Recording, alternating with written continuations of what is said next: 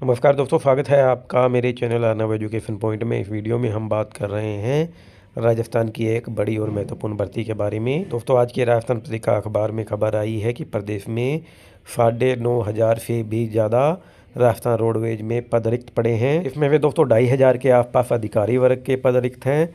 वहीं तकनीकी वर्ग के साढ़े तीन हज़ार से ज़्यादा पद रिक्त पड़े हैं। इसके अलावा चालक वर्ग के तीन सौ पचपन, परिचालक वर्ग के एक हज़ार पाँच सौ पचहत्तर और निरीक्षक वर्ग के तीन सौ निन्यानवे पद खाली हैं। और दोस्तों, संभावना है कि जल्द ही रोडवेज़ में बड़ी भर्ती की जाएगी।